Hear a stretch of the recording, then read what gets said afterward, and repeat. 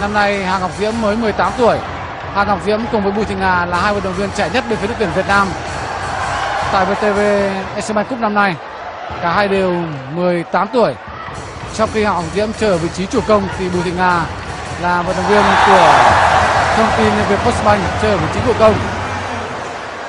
Điểm đầu tiên của tuyển Việt Nam chắc chắn tâm lý của các cầu thủ PV Thái Bình cũng đang rất tốt ở thời điểm hiện tại. Bây giờ Hà Quốc Diễm mới cắt được chuỗi lên điểm của PV Thái Bình.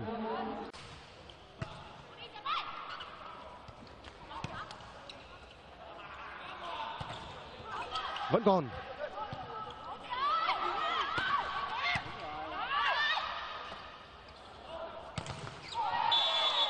Quả đá bóng rất mạnh của chủ công bên phía Truyền Vĩnh Long.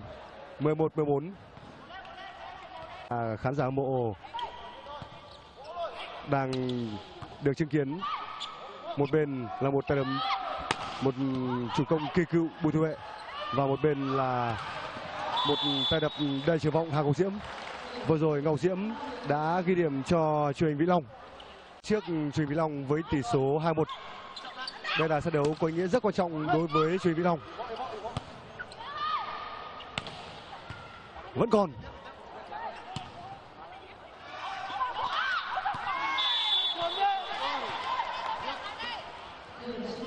về Truyền Vĩnh Long.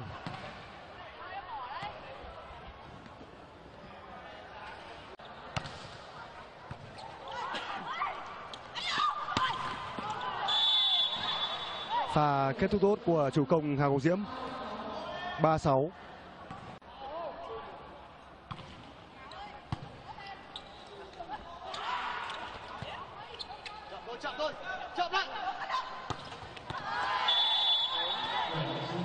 Quả đập rất khó của hào Diễm đã mang về điểm số thứ 9 cho Truyền mỹ Long.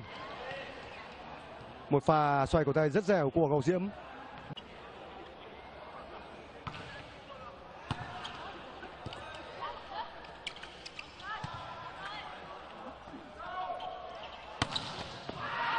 Lại là pha ghi điểm của hào Diễm. Trọng tài xác định bóng trong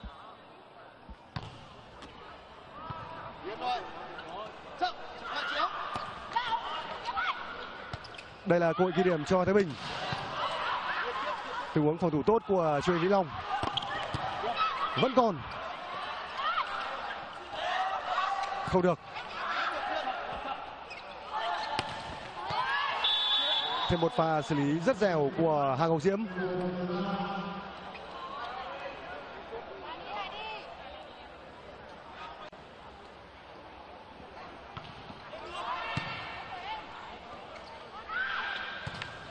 Vẫn còn.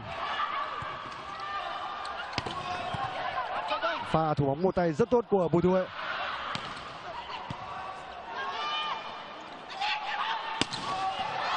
Bóng trong sân. Điểm số đã được cân bằng 19 đều. Đó là pha kết thúc của hà ngọc diễm.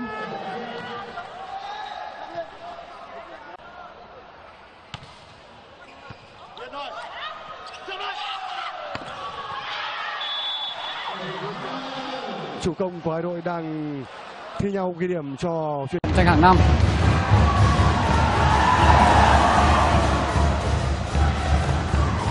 Mặc dù Australia đã để thua cả hai trận đấu trước đó, nhưng không vì thế mà đội tuyển Việt Nam được chủ quan. Đội tuyển Việt Nam được họ đã 7 lần gặp đội tuyển Việt Nam và thua cả 7.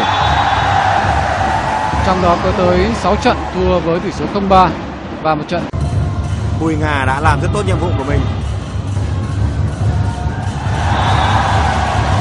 Lần này thì Hà Ngọc Diễm đã tự tin hơn, vào đà nhanh hơn và rất hợp với pha truyền hai của Linh Chi.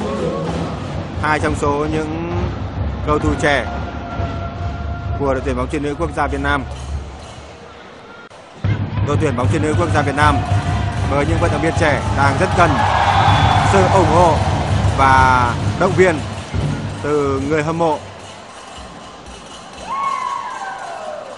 với việc trẻ hóa lực lượng một cách ừ, triệt để như thế này thì cần có thời gian để chúng ta tìm lại những thành tích. Rất trật trạc trong khẩu đỡ bước một.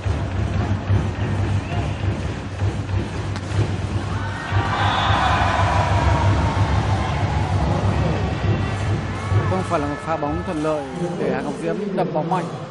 Mặc dù vậy thì ở pha bóng vừa rồi, hàng diễm đã xử lý rất tốt với một pha đánh bóng vừa đủ để chạm vào tay chắn của cầu thủ Australia ra ngoài.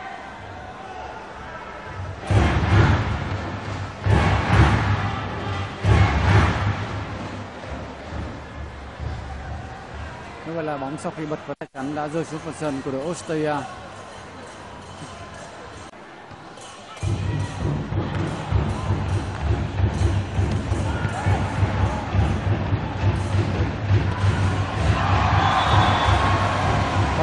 Bóng đã tay chắn của cầu thủ Australia sau pha kết thúc của chủ công Hà Ngọc Diễm.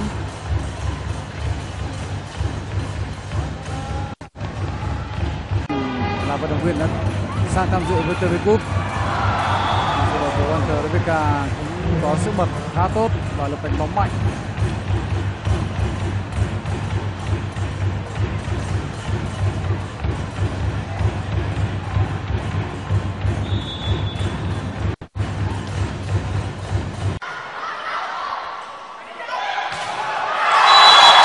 Thành công.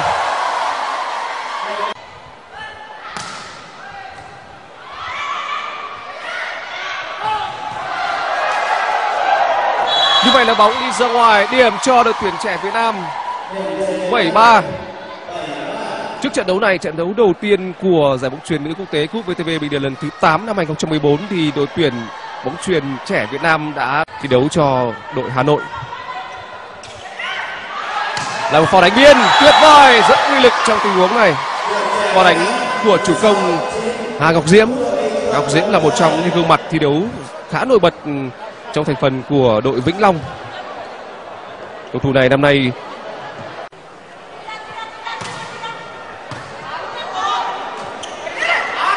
Ngọc Diễm cái điểm tuyệt vời. Đó chính là lý do tại sao. Liên tiếp. Và Thọ Win bóng vẫn đang trong cuộc. Đổi hướng Ngọc Diễm. Rất uy lực. Vẫn là Ngọc Diễm.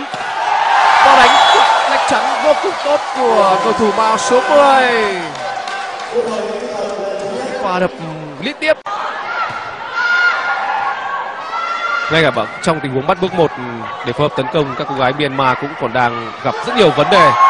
Bỏ nhỏ của Ngọc Diễm và đó là một pha xử lý xuất sắc để loại tầm chắn đối phương. Có một cầu thủ có chiều cao 1m96 như Hà Thầy nhưng trong phút vừa qua thì Hà Thầy vẫn không có nhiều cơ hội tỏa sáng. Ngọc Diễm vừa rồi đã bỏ xuất sắc để loại bỏ tầm chắn đối phương.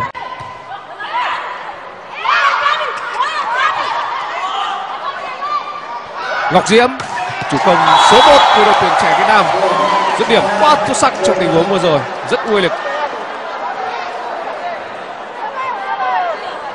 Những pha tấn công uy lực và đập bóng vô cùng tốt ở vị trí số 4 ngay cả khiến cho hàng thủ Rõ ràng là khi không có được sự hưng phấn thì đội tuyển Việt Nam có có thể làm nên được điều thần kỳ trong trận đấu ngày hôm nay.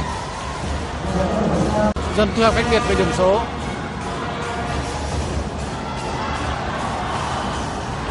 Hà Ngọc Diễm rất bóng tốt 12 15. cho các cầu thủ Kazakhstan. Ngọc Diễm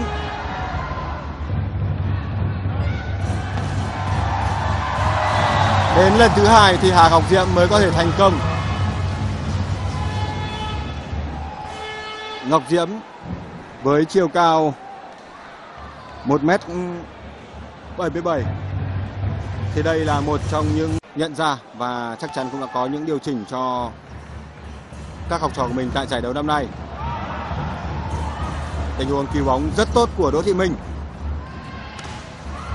Bóng vẫn trong cuộc và cơ hội dành cho đội tuyển Việt Nam Ngọc Hoa.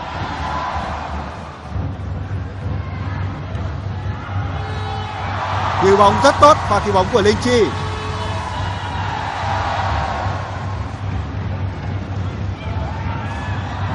Văn Libero, Kim Liên. Điểm số dành cho đội tuyển Việt Nam nhưng pha phòng thủ tuyệt vời. Nhiên khi chơi ở đội tuyển quốc gia lại là một trình độ hoàn toàn khác. Đội quốc gia là nơi tập hợp những vận động viên xuất sắc nhất của bóng chuyền nữ Việt Nam. Trọng tài đã chính xác khi bắt lỗi chạm tay chắn của câu lạc bộ Vân Nam